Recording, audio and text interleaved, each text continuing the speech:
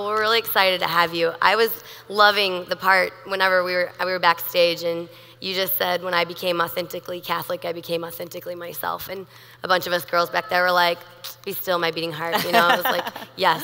So one of the questions I had for you was, um, what exactly were you know growing up and just your whole life, and um, now you're a beautiful Catholic mom and you have all this wonderful things going on. What was that transition like from you, like the, what you thought of the younger self, your younger self, to like who you are now? Yeah. And how different that is, and Well- if that's okay or not. Okay. well, you know what's interesting is when I was younger, I was so uncomfortable with being a woman, Sarah. You know, to be honest, there are just all these messages in the secular world about what it means to be a woman, and I thought they were true. That's what, you know, I just assumed that my culture must speak truth to me, right? Right. must they wouldn't lie to me. So, uh, so I was trying to be uh, the woman that the culture was telling me to be. And you know what's interesting is it felt really wrong in my heart. It just it didn't feel like this is what womanhood was about.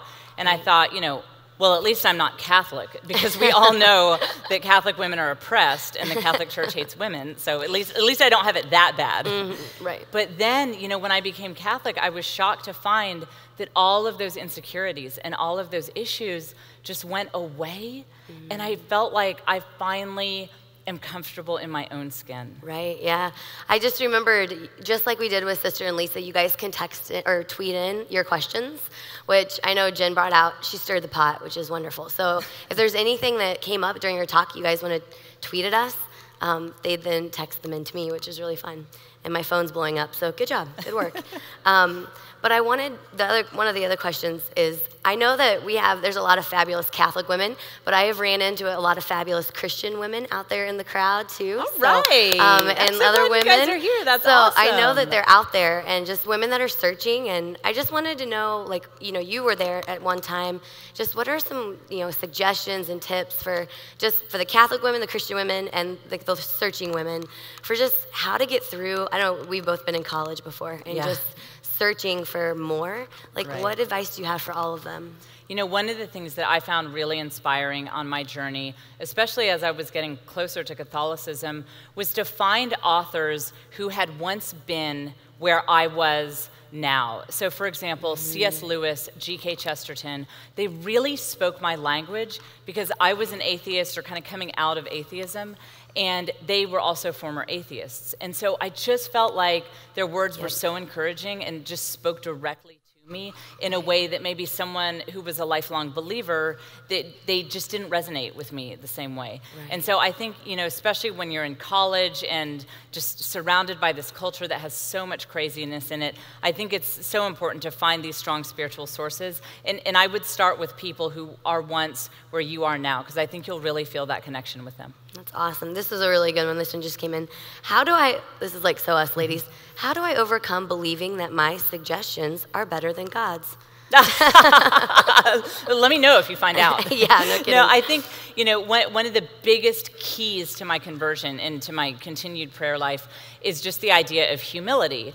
And I, initially, I thought that humility meant low self esteem. Right, right. And, and it doesn't. I realized it, this is a great quote that I heard from someone else that humility isn't thinking less of yourself, it's thinking of yourself less. Yeah. And when I began to really Oh, work on it. that, yeah, I love that quote. It's one of my favorites. Mm-hmm. And um, when I began to work through that with confessors and just my husband, trusted friends, spiritual directors, Right. it, it just it was a natural process that I realized God is God, and mm-hmm. I am me. And I am not is usually what I have to tell myself. Yeah, right. Yeah, exactly. Like, and I am not. Yeah. And, and and so that sort of process of understanding what real humility is Right. was a process of freedom, and also just mm. helped me realize that maybe I don't have it all figured out. Right. I know. I know as women, I think I talk a lot with other women about just control. Yeah. Just feeling like, man, I don't want to lose control, especially of my life. Yeah. But handing that over is, it's very hard, you know?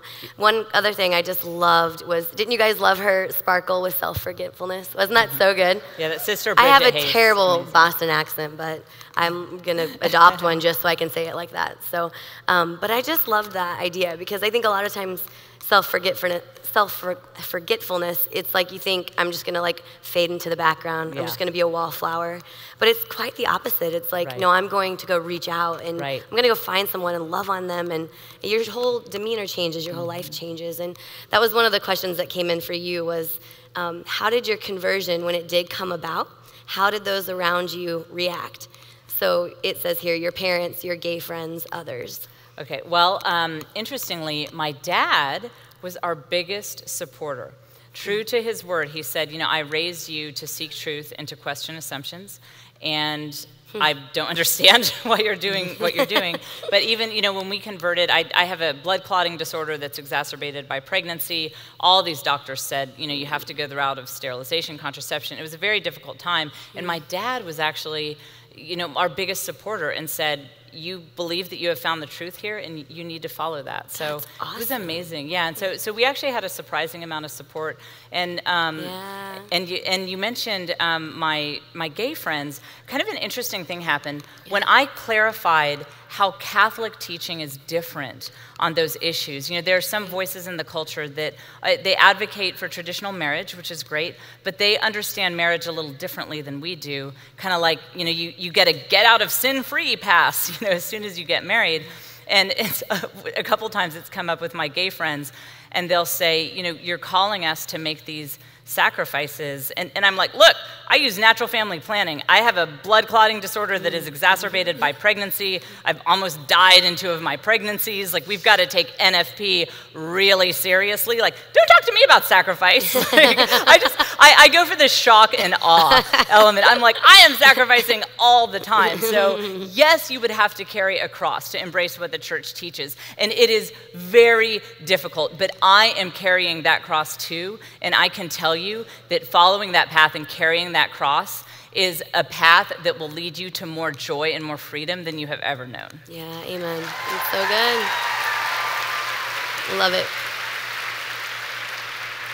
I really liked you talked a lot about no fear, you know, and I think as women, almost all of our overreactions or reactions, a lot of them just come from fear and um, or anxiety. You know, like yep. I struggle with anxiety. I know a lot of women do. And I just remember um, we were talking about our mother Mary, and you mentioned, you know, I think being a convert is is. I mean, the Mary thing is always for a lot of my yeah. friends. It was that was like one of the last, the Pope and Mary. It's very those are like the big the big two. Yeah. How was your relationship with Mary like so important? This is one of the questions. Um, and how do you develop a better relationship with her if you don't already have one? Yep. So, my relationship with Mary happened pretty immediately. Interestingly, my husband, who converted at the same time, he was raised anti Catholic Baptist. It's funny, the only thing we had in common spiritually when we got married is that we were both anti Catholic. So he converted at what the same time. What a great starting point. I know, I, mean, I know, yeah. Lots of dinner conversations right there, right? That's I know, great. it's crazy. So, um, so he, so he had the, all these issues with Mary, and so we'd be reading about Catholicism because we're nerds, and that's how nerds convert. So we'd be like lying in bed reading all these books, and he'd say, "Oh, this Mary stuff is crazy." I love it. And I and I'd say, "Joe, the creator of the universe, the one who made all the galaxies and all the world and everything from the beginning, he chose his own mom." Don't you think she'd be pretty special to his one true church? You know, so that, that, Mary, I, I, had no issue yes. with Mary. I actually I had no issue with the papacy. I saw the need for leadership. It's those things for me were that's awesome. That that was easy once I came to believe in God, obviously. Yeah. But but yeah, that, that was the hard part. I mean, just checking well, them yeah, off. it was very smooth But once I got to the you know God exists part. um, but uh, but so here's but I did not have a relationship with Mary because I thought, well, the church says it's optional and like you know needs more you know stuff in their life, so I'll, I'll opt not to do it then. And one day I'd been Catholic for about seven months, and I said, you know, Lord. I've noticed that all the holiest people I know really love your mother, and they're so into her. And I said, I, I, don't, I don't think I really need a relationship with her, but um, if you would like me to have one, uh, you know, let me know. I mean, if this were a movie, I mean, it would be like Jurassic Park, like you feel the vibration in the ground.